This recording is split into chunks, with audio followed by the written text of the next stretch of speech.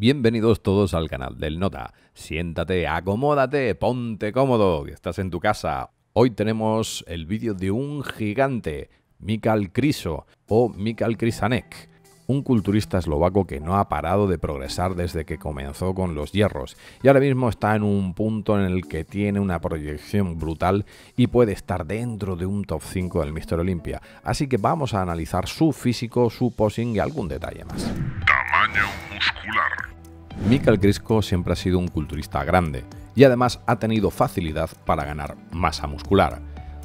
Ahora, actualmente, está en unos niveles de Mister Olympia destacando incluso por encima de otros que se pueden incluir en el top 5 y además algo súper importante es que además de ese tamaño conserva ese músculo con buenas inserciones y buena separación, cosa de la que últimamente no se brinda mucho en las grandes competiciones.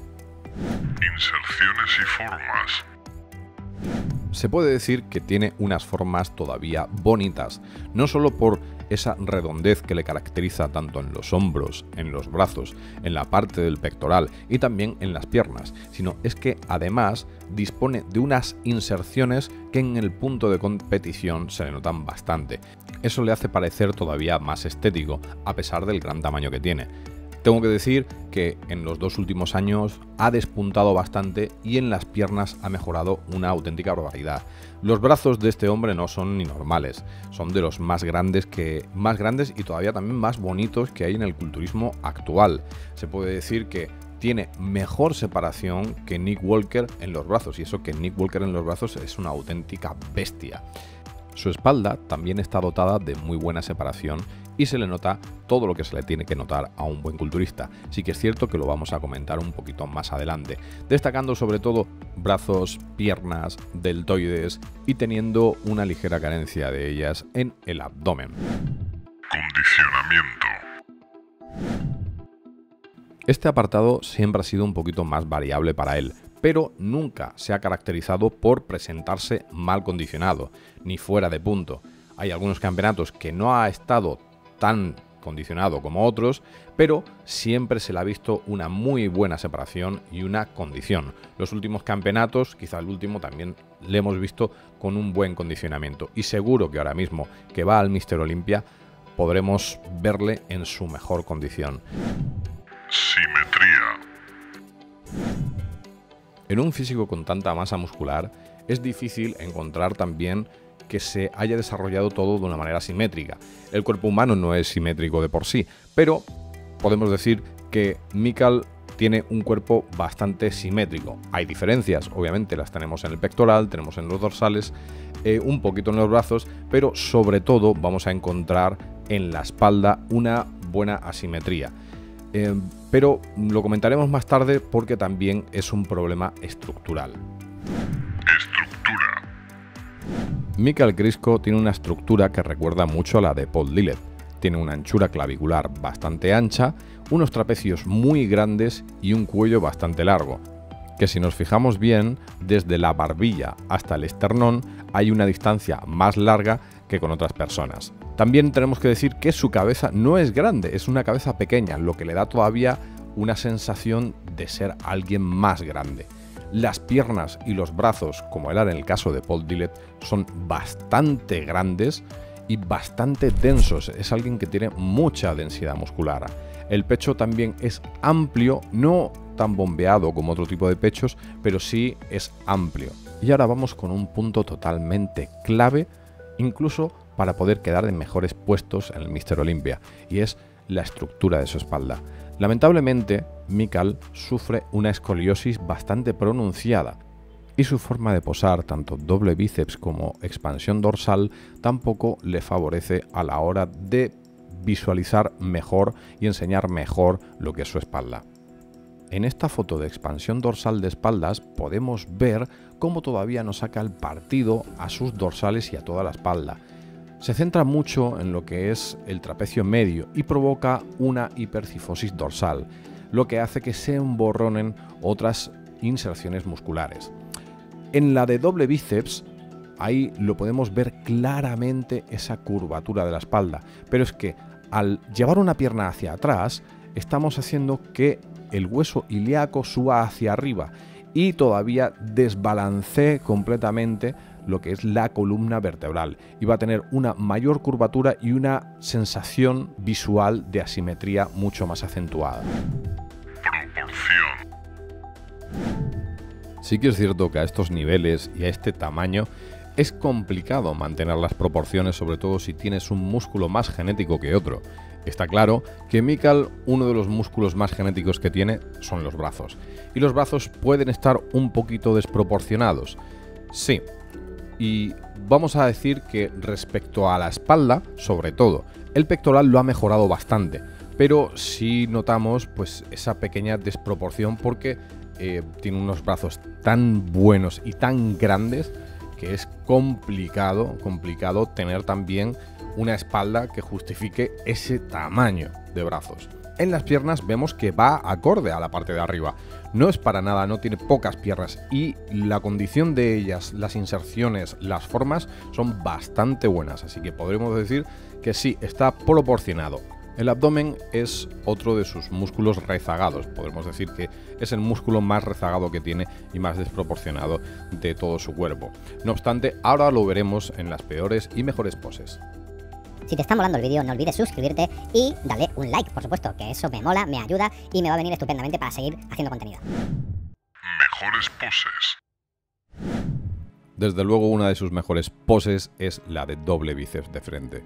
Y es que esta pose es imponente porque muestra toda su artillería con unos bazocas como brazos, una muy buena amplitud dorsal, manteniendo esa cintura en su sitio y unas piernas súper bombeadas, definidas y con una separación cojonuda.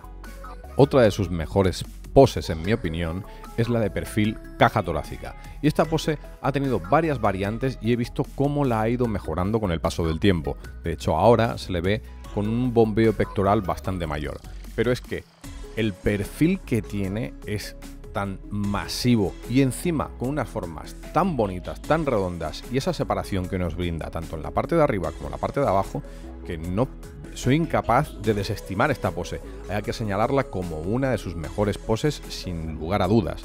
Podría poner también la de perfil de tríceps, pero es alguien que con su nivel todavía no entiendo cómo no saca más provecho a esa pose con un mayor giro de tronco.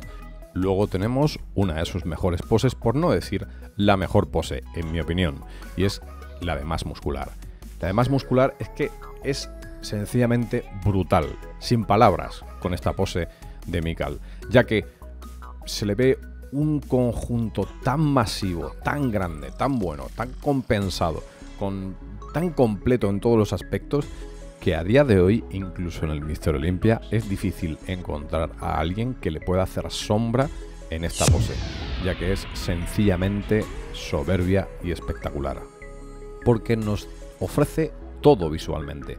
Un caparazón como trapecio, dos bolos como hombros, esos bazocas como brazos, el pecho también lleno y estriado, y unas piernas grandes, separadas, definidas y con una densidad acojonante. Es por ello que tiene que ser la mejor pose de Mikal. Peores poses. Una de sus peores poses, por no decir la peor pose que tiene, es la de abdominales y piernas, precisamente porque el tronco se le ve demasiado recto, no como en otras poses de frente. Y es que aquí también las inserciones de su recto abdominal no le ayudan en absoluto.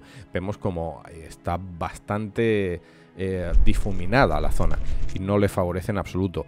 Sí que eh, una parte de la pose, como bien se dice, abdominales y piernas, las piernas se le ve estupendas, pero que es la parte de arriba y el abdomen sí que van un poquito por detrás, por eso es una de sus peores poses.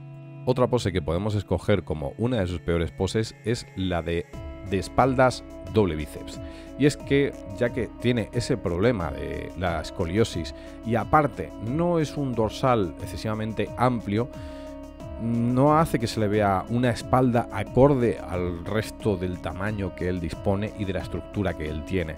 Se le ve una espalda que sí tiene separación en el trapecio, redondo mayor, redondo menor, infraespinoso, también las inserciones del dorsales, pero la manera de posar que tiene, y ya sabéis lo exigente que soy yo con el tema del posing, pues tampoco le ayuda en absoluto a mejorar esa pose.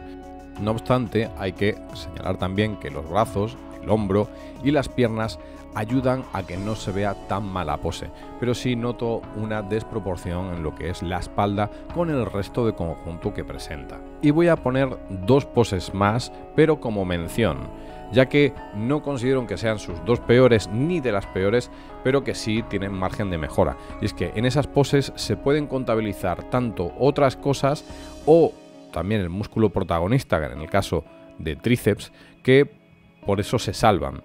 En la pose de perfil de tríceps, por el gran tríceps que tiene el brazo y la pierna, eh, puedo conservar una buena puntuación y un buen criterio, pero el que no se gire a mí me parece un delito, porque le puede quedar una pose muchísima, muchísimo más bonita y muchísimo más estética.